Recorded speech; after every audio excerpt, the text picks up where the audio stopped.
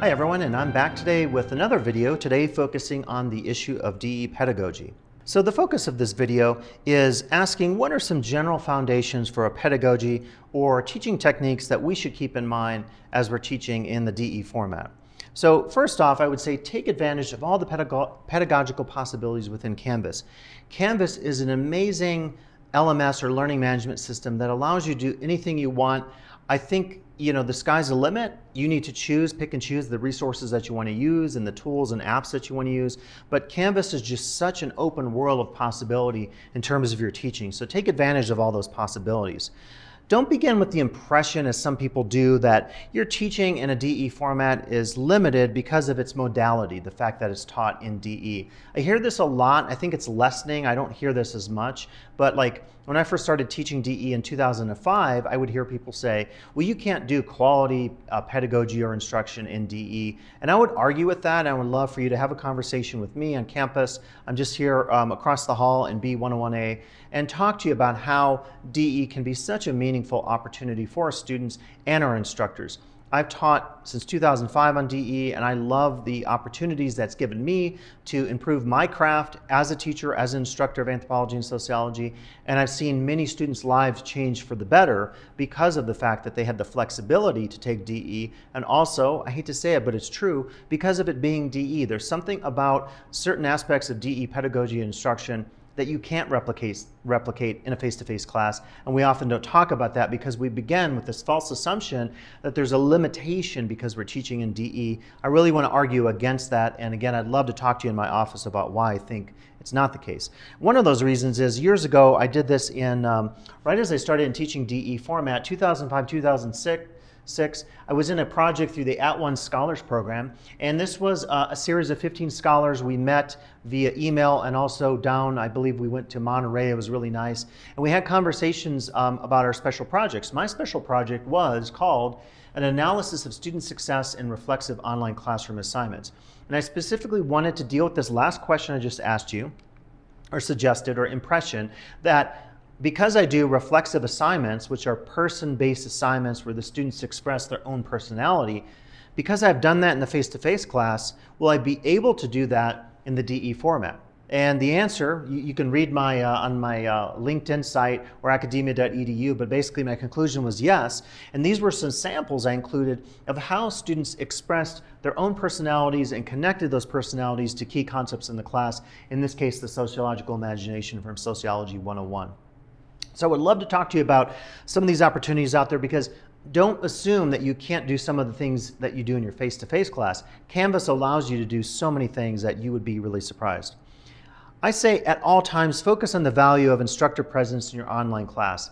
It's something we are stressing as our board and superintendent president in 2019 have stated a clear commitment to the improvement of the quality of DE instruction here at the college. Secondly, we started a grant in 2019 through the CVC OEI project of a half a million dollars that's also focused on this same issue. One of the hurdles I see in online education is the fact that people often don't insert enough of their instructor presence in an online class. And I just really think we need to think about this because it's something that we note as a potential hurdle in some of our classes. So we're really going to focus on that. Emphasize as well to your students and to yourself, I think, that, that the class is not a correspondence or self-paced course. You have deadlines, you have assignment due dates, and train your students, teach your students to be responsible and that they have to be as serious and academically focused on deadlines as they would in a face-to-face -face class like B103, whatever class it is, as they would in a DE class. Very important to stress that. Another thing is think very carefully about translating certain content, lesson directions, or modes of delivery from the face-to-face world of teaching into the DE world of instruction. So for me, the transition wasn't that hard because yes, I have props occasionally. If it's a physical anthro class, there might be skulls or hominid casts that we work with. But if it's a class about ideas like sociology, as long as I have access to text, to video, to links, to websites, I'm pretty good.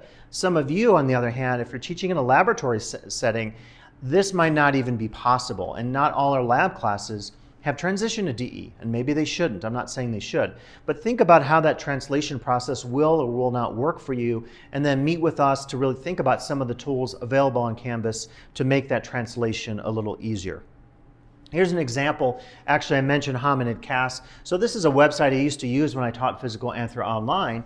And it's not the same as touching and 3D rotating them. But when you go through this site called Becoming Human, you can actually do some interactive documentaries. You can actually look at casts of skulls moving in three dimensions. You can kind of do this. It's almost like that those are real estate tours you can do or hotel tours when you're thinking of staying somewhere where you can look at the room from all these different virtual angles. And that's kind of what this is geared at. So you'd be surprised to see how much of this is becoming possible just via virtual and even augmented reality.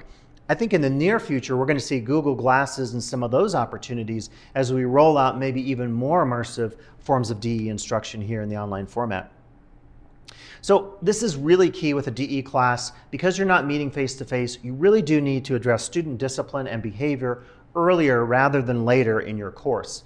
If you let it fester, if you let it simmer, it could really explode at a point in your class. If you see any issues, um, nip those in the bud, talk to those students, emphasize your discipline policies in the class, your behavior issue policies relative to the student catalog here at LTCC and so forth.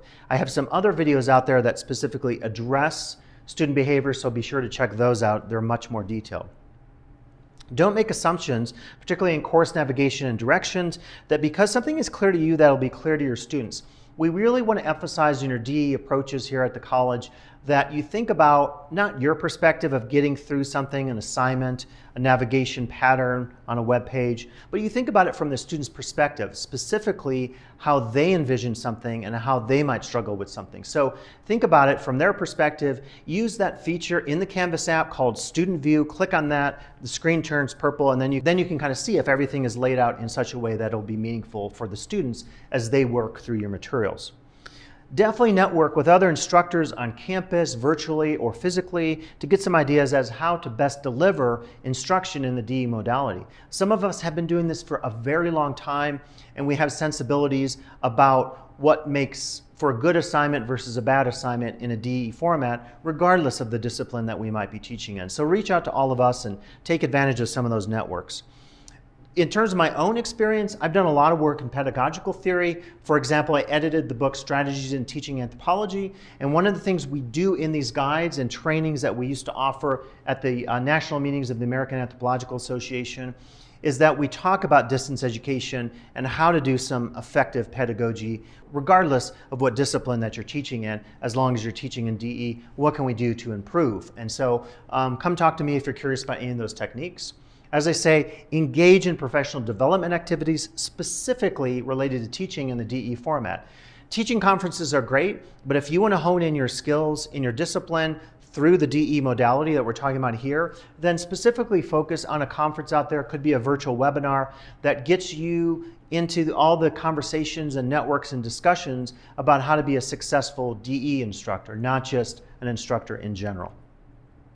So as I always say, good luck in your journey. We hope it's a successful journey as you move through the college here, as you become a really high caliber DE instructor. And as always, don't be a stranger. Reach out to me, Trevor Thomas, and others on campus, and certainly all those in your department to take advantage of all the expertise that we have in terms of suggesting some strategies for you to be a successful DE instructor.